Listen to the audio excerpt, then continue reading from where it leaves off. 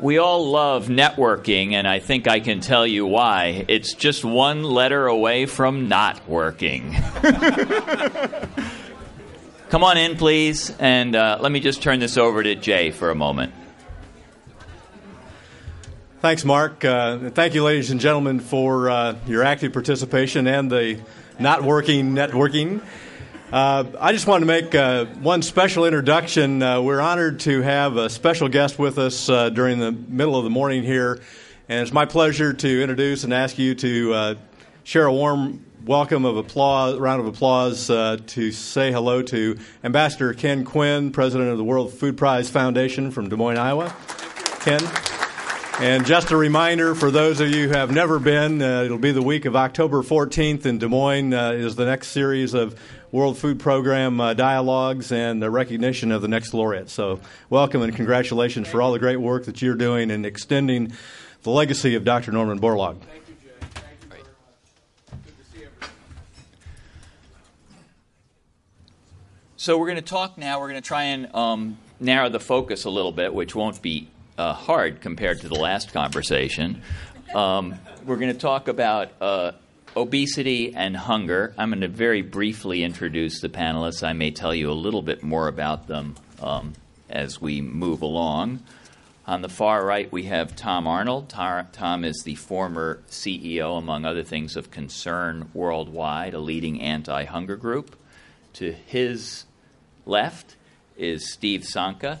Steve comes from the University of Illinois, where he directs the ADM Institute for the Prevention of Post Harvest Loss. So we'll talk some about food waste as part of the solution. Uh, next to Steve is Jason Halford. Jason is the convener of the Obesity Research Network at the University of Liverpool, so he's going to talk about uh, the role of food in actually helping to solve the obesity problem. And to my immediate right is Shenggen Fan.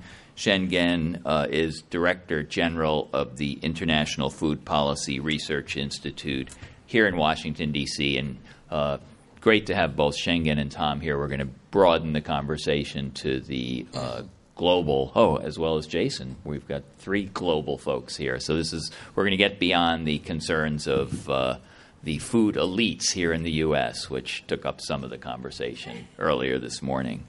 So, Steve, I actually want to start with you. I want to get back to, to, to something we uh, talked about a bit earlier.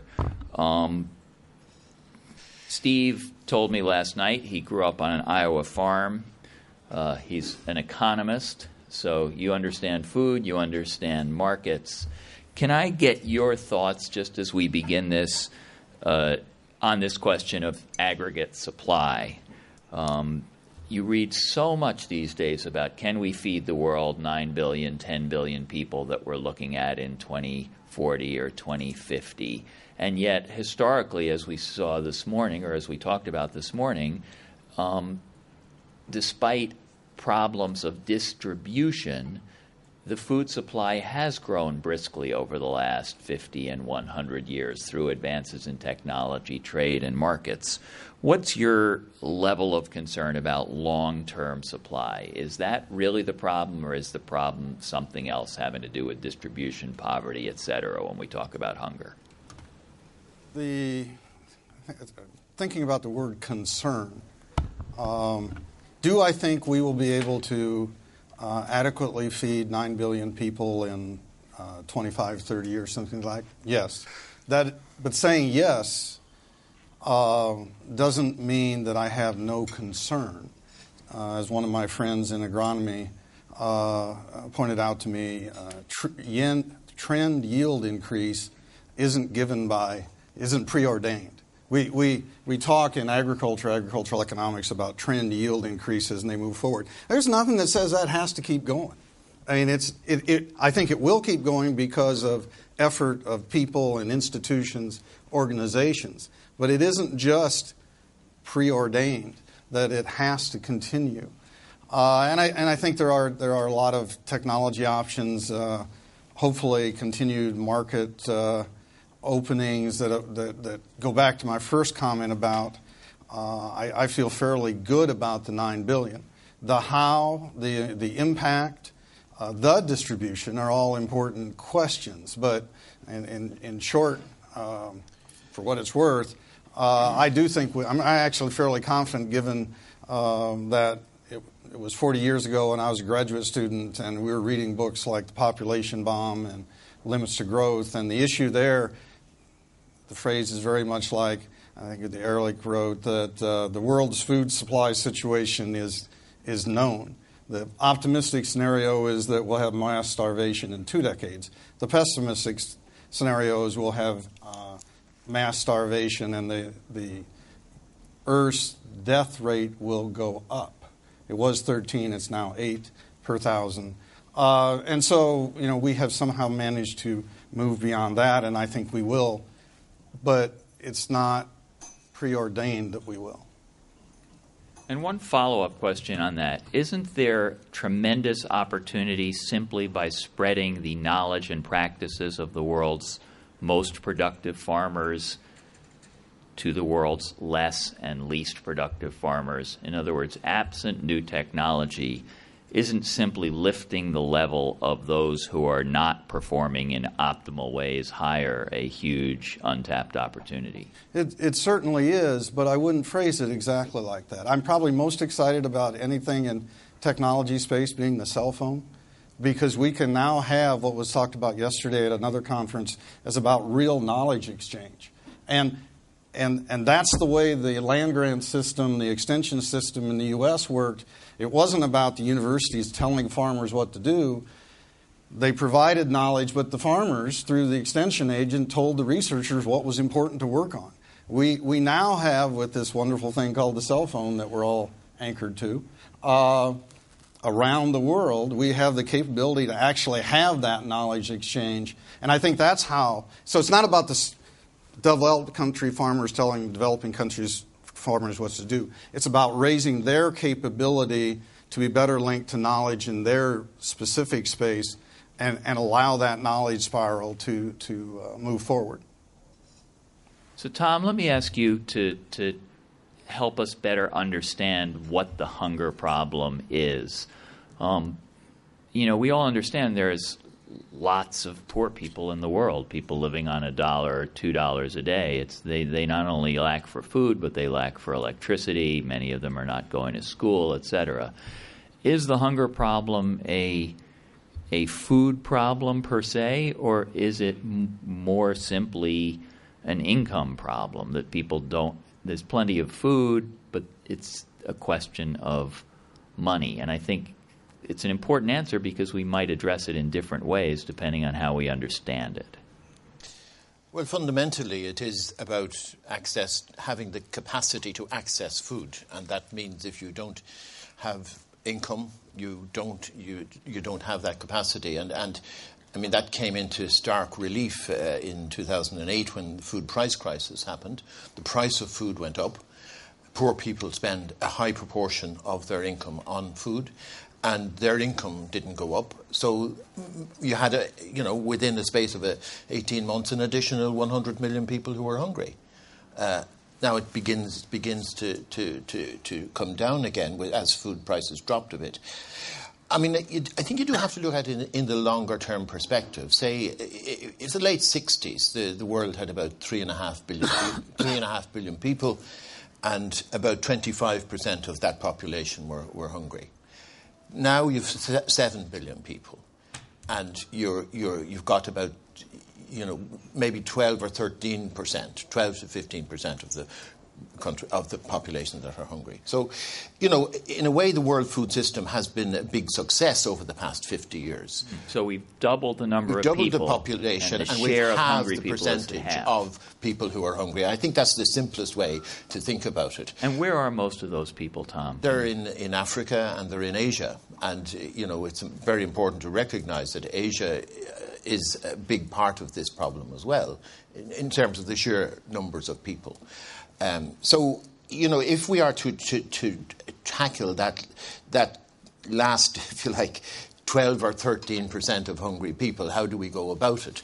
Well, I think by anti poverty programs, I think increasing food production in, in some of these countries in these countries is important because many of these poor people or hungry people are actually poor farmers. So, getting increase in their productivity, investing in rural areas, rural societies, rural economies is also a critical part. And the other thing that I think is, is, is of really significant importance, and it's something that has happened over the past few years, and I think the US has had a really important role in this, is the recognition that uh, you know the, the early childhood nutrition the first thousand days of, of a child's life, pregnancy and the first two years of a child's life, that is the critical moment. Because if you are to uh, really attack hunger on a longer term basis, you have to go to that early call, the early causes of hunger, which leads to stunting.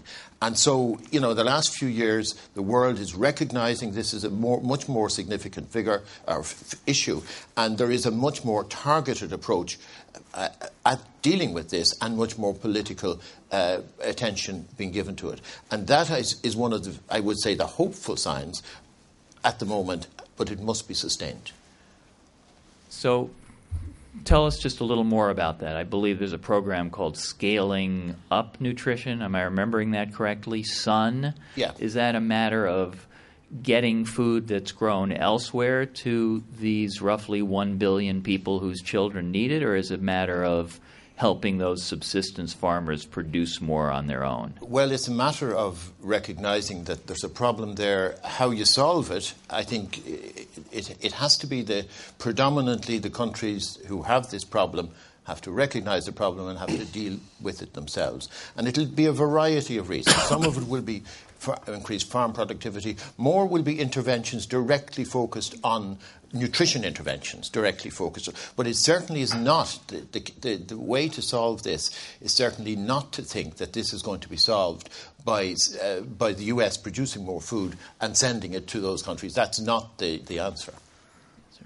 Um, Shenggen, let me ask you about that because you grew up in China, you did your early education there, I know, and then you got your PhD in uh, economics from the University of Minnesota. That must have been a bit of a culture shock, but you've seen our system, you've seen their system, and I, I think, if I'm not mistaken, that China is a success story in terms of the number of people who are hungry today versus, say, when you were a child there. Um, what's happened there, and is there any lesson we can take out of that experience that might apply to other places in Asia or even to Africa, which I know is one of your focuses? Yes, well, I grew up in a small village in China uh, about 50 years ago. Um, so I was poor, hungry, and uh, uh, malnourished. So you can put all these uh, symptoms to me. Um, but the scale today, the problem of the scale, or scale of the problem today is still very big, huge. So 800, 870 million people are still undernourished. And more than 2 billion people are actually um, so called uh, experiencing hidden hunger. So you cannot see this person is hungry, but because of lack of uh, minerals, micronutrients uh, in their diet, so their physical and uh, um, um, the physical and the mental health has been compromised because of that. Then, in addition, from the previous section, I also heard that there's a huge, huge problem of overweight and obesity. So, like 1.4 billion people are suffering from overweight and uh, obese. So, I can call it a triple burden of uh, malnutrition. So, undernourishment, uh, hidden hunger, as well as overweight or over or overnutrition. Yeah, China has made tremendous progress in the last uh, three decades in terms of its food production, um, improvement in nutrition status, well, as well as overall economic uh, transformation. So without China, uh, these so-called Millennium Development Goals, MDG 1, would have not met. So now by 2015, the world will be able to reduce the, num- uh, the percentage of, of uh, poor people by half uh, from 1990 to 2015. So China made a great contribution in that reduction. I'm, I'm curious if you've ever been back to the village where you grew up and, and, and maybe give us a little insight into how it's changed. Yeah. Well, um, some good news and some sad stories. The good news is yes, uh, everything has been transformed. 40 years ago, we didn't have electricity, we didn't have good roads. I, have, I had to travel more than one hour to go to high school. Dark in the evening, you know, you know the Chinese students worked very hard, they stay very late. so, but nowadays, when you go back, when I go back to my village, the roads have been improved. You know, from my village to Shanghai, probably three hours. Used to be ten hours, maybe even more. Electricity, access to um, to very clean um, clean energy like uh, gas. And more importantly, it's the people there. Now, many of them moved to the cities, by the way, moved to the cities, to Shanghai, Beijing, or even to US like me. um, the economic structure have also changed.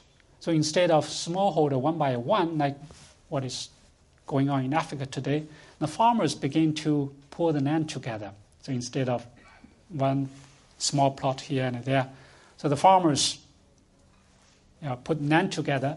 An investor come to the village and invest uh, in that piece of land, consolidate, consolidate a big piece of land to produce vegetables, fruits instead of rice and wheat and ship them to Shanghai because of improved infrastructure. Mm. So the farmers receive two sources of income. One is obviously the rent from the land because the farmers rent the land to this investor.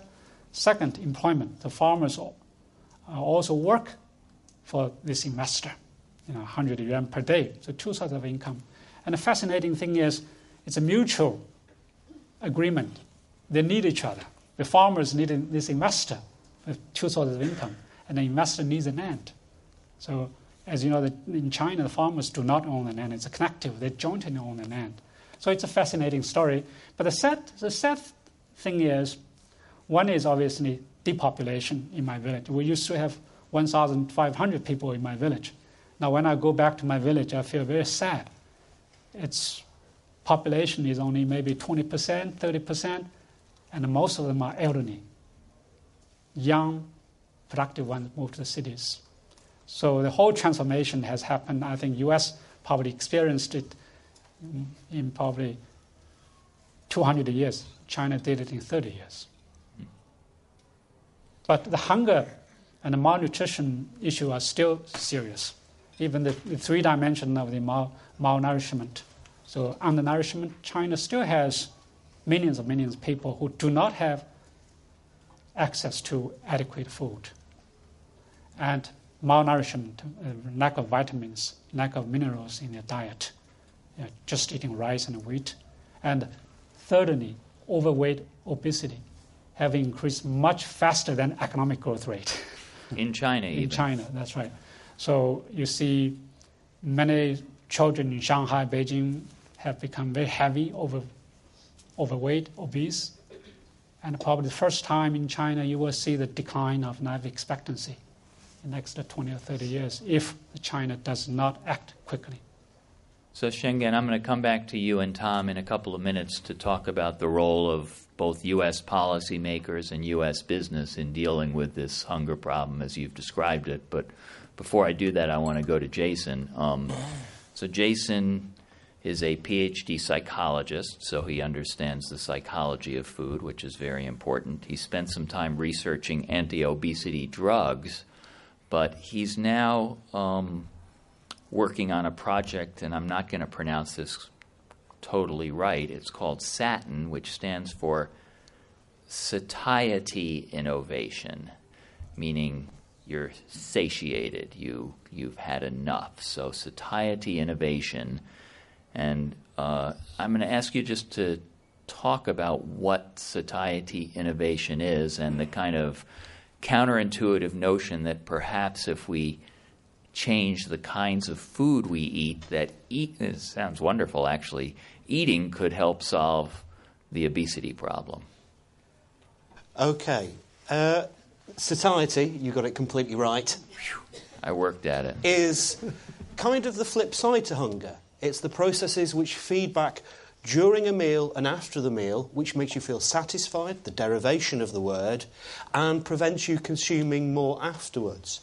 Now, the problem with the diet that we've developed is it's very energy dense. It has a lot of sugar and lots of refined fats, and there are good reasons for that. Evolutionary, those are the sorts of nutrients that we needed, wanted, and desired because they were scarce. And it's obviously been driven by improvements in production, it's been driven by consumer preference. But that results in foods which are very immediately gratifying, but in the long term have a weak impact on our appetite regulatory systems. And so we end up very easily over consuming foods. And if you look at the rates of obesity, excuse me, in North America or Europe, you see they've trebled over the past 20 or 30 years. We've always had a biological disposition to become obese, but it's the radical change in the environment which has allowed that phenotype to be displayed in populations, particularly urban populations, across the globe. And we see this even in sub Saharan Africa, where some of the acute crises in hunger are seen. Now, we know we have to reformulate the foods that we are choosing, the foods that we are eating for health. So we know we need to reduce amounts of rapidly digestible carbohydrate. We know we have to reduce levels of fats and sugars. But blaming specific nutrients is kind of missing the point. We don't eat macronutrients, we eat a diet. And we've got to change the diet. Whether that's increasing the amounts of fresh fruits and vegetables we consume, or whether we're changing the processed foods which we consume, it's the same thing. Processed foods are not going to disappear. So we need to reformulate them to be more healthy and less energy dense. And where we can, we should use the attributes of foods, specific macronutrients, fibres, proteins, so on and so forth, to provide added functionality, added health benefit. And we can do that by isolating the dimensions, the proponents or components of food which have particularly potent effects on appetite. We've been trying to do this with pharmacology for a while and we had some successes. But drugs are expensive, they're correcting a problem in the diet which we can address through the diet, and they also tend to come with side effects, which is why drugs have come and they have gone. You can do the same sorts of things with foods. They don't have pharmacological effects, but it's a more practicable solution. The only other solution is obesity surgery which obviously the bariatric surgeons will tell you is a runaway success. We don't know the long term consequences of obesity surgery. Certainly, they seem very impressive, but there are individual differences there. And really, is the proposition of replumbing the gastrointestinal tracts of a quarter of the, say, US population the solution to the problem that we are facing? And so you know, not all the solutions are in biotechnology, not all the solutions are in projects like the SATIN project, which you referred to. There is a bigger picture here. But innovation can help as part of a broad portfolio of solutions. So, I mean, I've not heard any about, anything about this, so I'm quite interested. Can you be a little more specific? What would one do to a particular food to, in a sense, trigger, I think, if I'm understanding this right, trigger a message to the brain that says, I've had enough? Well, you can do all sorts of things. You can interfere with the sensory properties, make it feel creamier, more satisfying in the mouth without putting the fat in there to produce that feeling. Uh, you can do a little bit around its action in the stomach. There are gelling agents which produce bulking in the stomach. That slows gastric emptying. It literally keeps you fuller for longer. Uh, and what, can, what so, what food? Give me an example of a food you might alter to do some of these things. It's obviously not going to work. You, would have to alter all foods. You'd have to. You, you, you, can't. You know, everybody's obesity is different, and everybody has particular problems with di- with differing foods, whether it's snacking or overconsumption in the evening, or or a, a, variety of other psychological problems in controlling appetite. These foods will work for some people in some food matrices. Uh, you could be looking at snack bars, you could be looking at dairy, you could be looking at whole meal replacements, you could be looking at beverages. The sorts of ingredients we tend to look at are fibres, the sorts of ingredients we tend to look at are proteins, although you can do a little bit with functional oils. The problem we've had so far is 40 years of, of knowledge in the lab doesn't translate to good food products because as soon as you give people high fibre or as soon as you give people protein, they won't eat it because they produce dreadful food products which don't sell, are expensive to produce, and don't actually last all that long on the shelf. So the trick now in the innovation is to make smaller manipulations which are acceptable to consumers and are cheaper to put into the marketplace. We'll come back to this, but just the last question before I turn to Steve again. Who is part of this Satin project? Is it academics, or do you have food companies, um, biotech companies involved? All. Oh, so, any we have seven. We have seven SMEs, four multinationals, and seven universities. And Which multinationals? the multinationals are Coca-Cola, Cargill, uh, a Spanish drinks company called Juver, and also we have in there Naturex, who are an ingredient producer which are based across the world, but also have a, a US present, presence as well. The SMEs tend to be lots of small biotechs or ingredients companies or food formulation companies, uh, generally in the Benelux area or, or Spain or Italy. And the academic universities are Spain, UK, Scandinavia. So it's a European initiative yes, at the moment. across Europe. Great. All right. Well, maybe we'll have a chance to hear more about that, and certainly we welcome any questions on it. I'm going to probably whip through the panel one more time, and then I'm going to ask for your help with questions. So, Steve, um, prevention of post-harvest loss is one of the issues you're looking at. It's gotten a lot of attention in the last few years. I think I've, you know, seen numbers that strike me as uh, hard to believe, but perhaps they're true. That you know, 33% of all food grown is wasted somewhere between the field and the garbage can because it does include post-consumer waste in that calculation. Can you help us by giving us a kind of realistic, pragmatic sense of what the food waste opportunity is? Because obviously, if we waste less food, environmental impacts would be less, energy impacts would be less, supply would be more. It's something we want to think about and do, but how realistic is it? So we're dealing with numbers that are uh, imprecise. May be true, but imprecise uh, in, in how they were generated. We, are, we have many more estimates than we have what my ag engineering colleagues would like to have as measurement. Because measurement of the system in the system is expensive. And so there are good reasons we don't have good measures. Another thing is our terminology. Uh, and I think you use the phrase that a third of the food is wasted. Now, it may be true, and, and so that goes into what does wasted mean? Does that mean that people were just throwing it away along the way uh, just because they felt like it? Or does it mean that a third of the food that's in the field doesn't get to its eventual end use? Uh, and those are kind of different things. Um, there, there's, there's that, and, and I'm going to assert that zero is not the relevant benchmark. When, we, when we hear those numbers of a third or a half is wasted in, in media and other places, there's, there's kind of an implicit message that, well, zero would be what we would want. Well, it would be, but it would be really, really, really costly.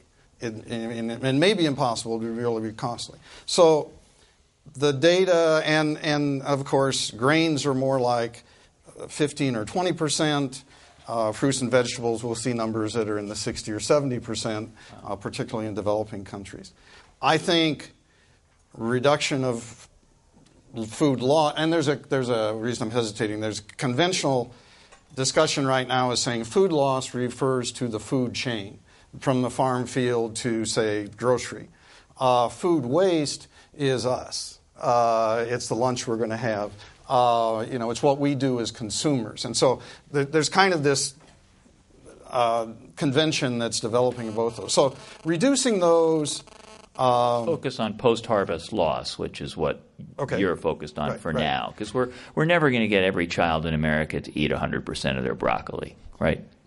Um, no, we're, we're not. Um, I have four daughters and six grandkids, so I can, I can definitely say that. And their, their dad is and granddad is just as big a problem, frankly. Um,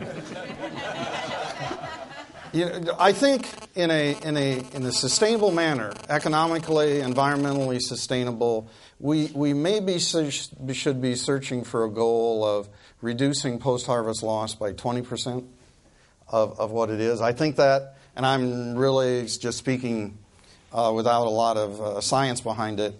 Um, you know, if we can move that third down to 25%, that's a huge amount of product.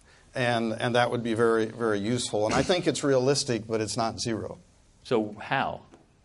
Where, where are the opportunities? Um, well, my, my brother, the farmer, would say raise crop prices. you know, if the price if the price of the wheat is higher, I'll pay more attention to it. Um, and that's from the farmers. They, that's what they would like me to uh, assert, which is some truth to it. Um, application, understanding why. And this goes back to what I was saying about the role of the cell phone. Why aren't people using the technologies that are available today? There are good reasons. They're behavioral, economic, social we need to be working, in my opinion, on understanding those whys. We know how to store grain, we know how to store fruits and vegetables. Why aren't we doing it? And so, focusing on the whys may be as simple as providing good educational materials through a cell phone that's a, a, a, car, a cartoon rather than uh, an extension brochure handed out to a village of people where the literacy is low. Uh, show them cartoons of exactly what they should be doing. That's something we're working on. Um, so it's a complex, it's a suite of things. It's not, it's not one thing. It's, um, it's small machines that reduce the amount of time and effort and loss in shelling something called pearl millet in Africa. Uh, and that's a solution, that's a contribution for pearl millet, but go down the road and they have maize, and it's a difference. So that's part of the problem with post-harvest loss is it's very complex and it's very location specific. Hmm. So you're working on it outside the U.S. as well as in the U.S. then? Uh, we, we are funded, and I should say this the title of the institute is the ADM Institute for Prevention of Post Harvest Loss at the University of Illinois, and you can say it very rapidly. Um, it, we are funded by a gift from ADM, and our, our mandate, our gift agreement, and this is a gift, it's not a grant, it's not a contract, it's a gift, is that we work in developing countries. So almost all of our work. Um, well, all of our work to this point has been in developing countries. We focus a lot in India and Brazil, uh, but, but also Africa and, and other countries. So our, no, our focus is totally in developing countries. So it's not the finicky U.S. consumer. It really is flaws within the supply chain and distribution system, refrigeration issues, the the 12-hour road trip that Shenggen was talking about that or, becomes or, or, a three-hour trip. Yeah, or the no road. That's right. That's right. Those those issues are all all part of it. Um, uh, although I was on a panel a few months ago where uh, one of the panelists was from India and was talking about Indian weddings uh, as, as a source of food waste. So it's not the food waste is not is not just a, a U.S. Europe problem. Okay, and last question: um, What's the uh, what's the openness to embracing this issue in the countries where you're working on it? Well, at one level, who's against waste? At another level, uh, doing doing the hard work which goes beyond technologies to understanding behavior, understanding the, the, the why things are. It's, it's not so much an openness, it's hard. That's, it, it's, it's hard work, it's detailed work. So it's not, and the openness is, is very open, but then we get down to, and I was in a meeting yesterday where I understand that President Obama has a, some, a thing on his desk that says hard work is hard. Um, and and post harvest loss is hard work because it involves people. And why do people do what they do? And then how can technology supplement that? But fundamentally, it's about people. So openness is not a problem. So, Tom, what's the role of folks in this room who come from Capitol Hill and from the food industry? Maybe not only is what the role, but is there an opportunity for people in this room to to deal with the hunger crisis? Is there a sort of bottom billion business opportunity, maybe? I think so. Um, and again, I think you need to look at it in the somewhat longer term perspective. I mean, the reason why real food prices fell over a four decade period was because, really, of the contribution of the Green Revolution. That was a US contribution. Uh, but that induced over a, a period of decades uh, perhaps a complacency about food security, and governments in developing countries and donor aid programs began reduce their investment in agriculture. And sometime in the last decade, the penny dropped that this needed to change, and it dropped even faster and harder when the food price crisis of 2008 came along. So now there are, in many developing countries, an acknowledgement that they have to invest more in agriculture. And this then coincided as well, I think, with the Obama administration coming in and having as one of its keynote programs the Feed the Future program. And I think that's been a very progressive program. Um, I heard uh, Tom, Tom Vilsack yesterday speak, we were at the same meeting, uh, speak about, in a sense, the opportunity that that program is helping countries develop their own economies. And ultimately, that's in the long term interest of the US to create markets.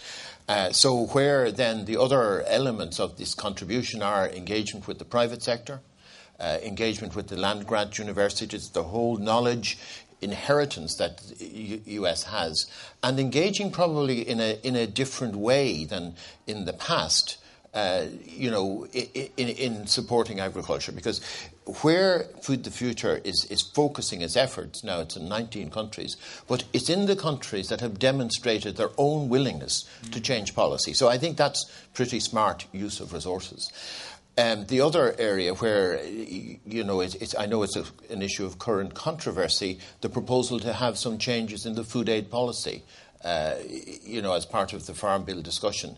And essentially, what Raj Shah was saying yesterday was that for the same amount of money, you can, you can uh, you know, feed uh, you know, a lot more children um, by shifting from exclusively uh, sourcing your food aid here in the US to having a mixture of cash and uh, you know per local purchase, and you know that for me makes a great deal of sense, and, and I think it's a, it's a progressive thing. And the final area where I think the US has made a real contribution is in this focus on early childhood nutrition.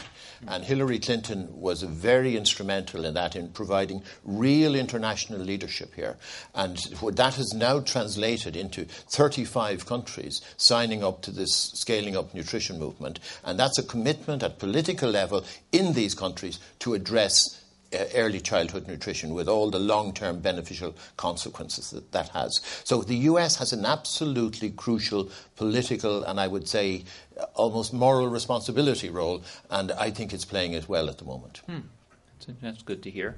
Um, I have to ask you because you, besides your work with Concern, you also did um, service with the Ireland government ag department, so you're familiar with EU, US policy. Do you think the um, resistance of the EU to transgenic crops in any way is contributing to the hunger issues, say, in Africa because of either difficulty importing the technology or importing the food itself? What's I, your perspective on that? I don't really think that's a major factor. I mean, I think the real problems of, of um, hunger in Africa are, you know, they, they can be resolved by doing a lot of other things. I don't think transgenic crops at this stage of their, of their development is, is going to be the crucial difference. Uh, Paul said it in the earlier comment that if many of these countries and their farmers had the most simple existing technology and access to f- inputs and access to markets, that would be, for the moment, a huge advance. And I, I think the transgenic issue is actually a red herring in this discussion. Okay. Shenggen, what about your perspective on the role of both U.S. policymakers, the people in the room here, and U.S. business. Yeah, one of the important aspects is the capacity of the countries in designing their own strategies, programs, and investment priorities. So the U.S. universities, land-grant universities, research institutions can work with Africans, Asians to build their capacities in the 60s and the 70s, why Asia had a green revolution? That's because of the close collaboration between the US and India and Pakistan. Uh, then in the 80s, 90s, maybe even to, uh, to the, new, the beginning of the new millennium, that effort has come down dramatically. So I really hope that the U.S. will re- resume its effort to work with international organizations like ours to build the capacity in Africa, in Asia, so they can on drive and lead their own development programs. So this is so critical. If you look at the successful transformations across the countries, you will see these successes usually are not driven by their own people. They are they are driven internally more than externally. That's right. But saying. external capacity building will be so critical. So those those large numbers of people who were on the undernourished category of I don't remember how long ago it was, Tom, the three Well, million. in 60, well, the Green Revolution the end of the 60s, uh, and yeah, but then 25% of the world's population was hungry at this, at this stage. Half of that percentage of a larger population is, is now hungry. So my question, Shenggen, so those folks are basically eating local food for the most part. In other words, it's not movement of food from the U.S. to those countries that has helped dealt with the problem. You, at least in China, you said they're growing their own food fundamentally. Well, yeah, mostly you're right, but uh, in some cases, the food aid, food aid also helped, particularly uh, in the 60s, maybe 70s, um, and in Africa. But today, I think we have to move away from that uh, to make sure that local producers, new local farmers can produce their own food. And So- by local, you don't mean within 50 miles of the town. You mean essentially in the country, in the region, correct? Sure. So we, well, we are not against the, uh, the market or trade, right? So we wanted to use market and the trade to make sure that the people can share different products, different foods, so they can diversify their, their, their consumption. The diversity contributes to better nutrition and higher quality. But today, the problem in Africa is because of lack of production, lack of income uh, opportunities. So they, suffer from hunger and, and malnutrition. Um, I'm going to chat for a moment with Jason, but then anyone who has a question on hunger, food waste, or obesity, please gather at the microphone while we do that. So, Jason, I want to ask you a, a sort of simplistic question by design and tell me why this isn't a useful way to think about the obesity problem. But I, I hear from some people in the business world, they often don't want to necessarily have their name attached to this, mm-hmm. but they will say to me, it's a pretty simple problem. It's individual choices of calories in and calories out, and we're socializing the problem. We're turning it into a corporate responsibility issue. We're turning it into an environmental problem, and we're taking people off the hook, and that's not the right approach.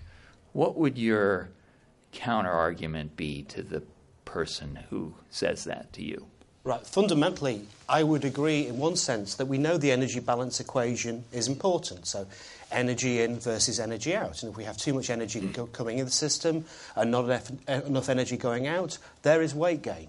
Uh, you know, th- that's evidence, and the ancient Greeks knew that, so that's nothing new. That information hasn't stopped uh, rates of obesity and overweight tripling in the West, and now we're seeing a much more rapid rise uh, across the globe. And in and of itself, there is a, a naive, a naivety about that. a, there's a sort of deceptive simplicity, and it comes down to behaviour. Behaviour is lifelong learnt, and it is formed in an environment. If it's formed in an obesity-promoting environment, it is very difficult to change. So behaviour, as any psychologist, attitudes are difficult to shift. It's hard enough to get people to change attitudes. But even if you get that attitudinal change, there is no guarantee that their behaviour goes on to alter. so this is why often public health campaigns tend to flounder. Is you know we, we all know we know we knew smoking was bad, but obviously tobacco is addictive. Uh, I'm not saying foods are addictive in the same way. That's not where I'm taking that argument. I'm not going down the Robert Lustig route here. But it is still difficult to alter these things. And if you put it in a system which is constantly promoting high fat, high salt, and high sugar, and is not sufficiently promoting the alternatives, you can see why that behaviour isn't changing because all the drivers are pushing people the other way. And the other thing to understand is it is fairly easy to put weight on. But dieting is fundamentally difficult. And I suppose many of you on this, in this room have been on a diet, and in the short term, you may have done well, but you will have put the weight back on. Dieting is difficult. Keeping the weight off seems almost impossible. And there are good reasons for that. Your body physiologically will defend your current weight status, no matter what your weight status is. And also, when you are dieting, you go into psychological deprivation. It, causes, it interferes with cognitive processes. It, it causes a, re, a, a, reduction in mood. These are precisely the things that you don't want to happen because they make the dieting process difficult. Somebody was talking to me about stress induced eating and, and why do I respond to stress by over consuming? Because you're cognitively overloaded, because dietary restriction uses psychological resources up. So that's why it's difficult. Mm. But yes, the energy balance equation is important. But we can alter lots of those parameters to help people make the right choices. And that would be my argument. And that's why you're focusing on food. You're, you're changing the stimuli, you're changing the, it's only uh, a small part of the picture. We, we need to look at what we're producing. We need to look at what we're promoting. What we're subsidising. And, and, what, and what, we so, what we choose to subsidise and what we don't. And we still predominantly produce, uh, promote high fat, salt, and sugar. I work in the regulation of, of advertising to children. And quite frankly, the nutritional profile of the foods which are advertised to, uh, to American and European children in their peak viewing times are absolutely atrocious. There is a major misbalance there. You know, altering foods and making them healthier is, is one component, but there is what we choose to promote as well. And it's a matter of the balance is wrong. We've got to shift the balance. But the people who are going to do that are people sat in this room and people in the food industry. So I, as an academic or somebody interested in policy, has to engage with that because you are the people who are going to deliver that. It's not going to be delivered out of a white tower from a university. Shenggen, go ahead. Yeah, I just wanted to add um, to what uh, Jason said. In addition to behavior change, the public policy is also needed. We know that uh, the overweight and obesity will not only contribute to that individual's health problem, but also the whole society's problem. This whole society has to pay health, but also environmental issues. You know, by eating more, you actually need more water, more land, more energy to produce. But um, the market failed to take that into consideration. So the, the pricing right now does not reflect the health and the environmental cost. Mm. You know, as economists, when the market does not work, does not deliver social uh, benefit, then the public policy is needed.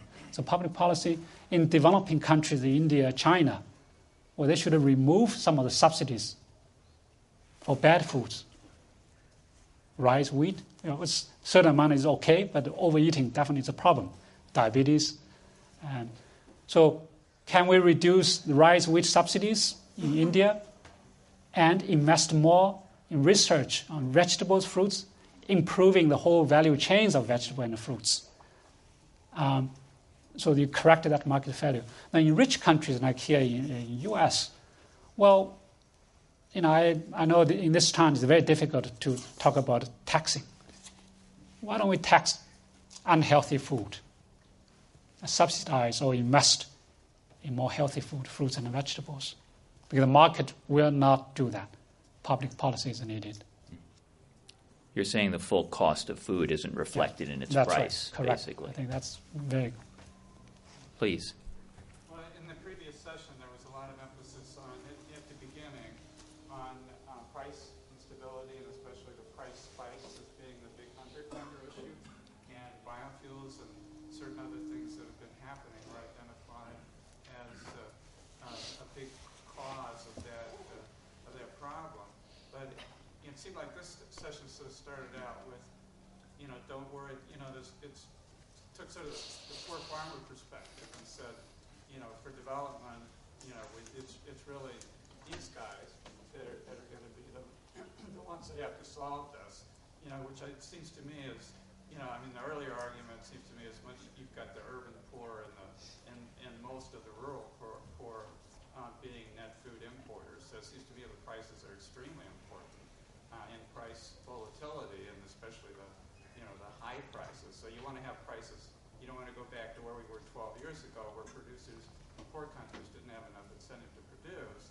But on the other hand, I think the points that were made earlier this morning are very valid, and I'm, I'm a little confused by the, you know, we just look at the long term here, and as long as we're, we're headed, you know, toward some kind of balance in the future, I mean, it seems to me like people could starve pretty quickly, and, you know, uh, price volatility seems to be like a huge problem. And um, as it is, then we need to focus on the policy issues, because right now, this country's policy is to try to increase biofuel production any way we can. To increase. Biofuel production any way we can. And there's, there's a lot of effort to do that going on right now. So, i- respond. I mean, I can Both try to address and this issue. Steve, too. There's a, my institution, the International Food Policy Research Institute, has looked at that issue very, very carefully, very intensively for the last five or six years. Uh, yes, when the food prices uh, began to move higher, uh, many poor suffered. The poor urban consumers suffered because of higher prices. Even rural, rural poor suffered because many, more than half of the uh, producers or farmers in developing countries actually are net buyers of food, or either through food aid or through the purchase from the market. So definitely the higher food prices hurt poor. However, to look into the future, we are not afraid of higher food prices. What we don't like is volatility. Volatility. Volatility hurts consumers as well as producers. The producers cannot predict the prices. They underinvest. Um, they are risk averse. So now the smallholders suffered because they do not have access to seeds, to technologies, to markets. So their production cannot, cannot increase and they cannot link their production to markets. So that's the key issue we need to work on to make sure that smallholders have access to markets, have access to technology, so they can uh, increase their produce their, their surplus, so they can enjoy higher food prices when food prices do move higher. Steve, do you want to comment on that? Uh, just real quickly, um, certainly price volatility is, is harmful for, for the poor. Unfortunately, and over the, maybe the last 50 years, there's been a tendency in many countries to solve that problem by lowering the price of food and then being surprised when farmers don't grow more food the next year. So if there's a food price spike, that's, a, that's an income problem. That, that, that's uh, income of the poor problem in, in my mind. If we treat it as an agricultural problem, which is lower the price, we're not going to get more produced. And so we've got to unravel these things, even though it says food price, that doesn't necessarily mean that's an agricultural problem. If we treat it as an agricultural problem, and we, we've done this around the world in the last 40 or 50 years, uh, we find out we go the wrong way in terms of being able to provide food at low cost, even if profitably produced. So I, I think we, it's really hard, but we need to disentangle these things, and it's not all, everything around food isn't an agricultural problem. I think I'm getting a signal that we're out of time. Am I right? So, despite we're, it's the we're out of time. The good news is the end of food has not yet arrived. We're going to have lunch. So we will adjourn. Um, before we do so, please join me in thanking Tom and Steve and Jason and Shenggen.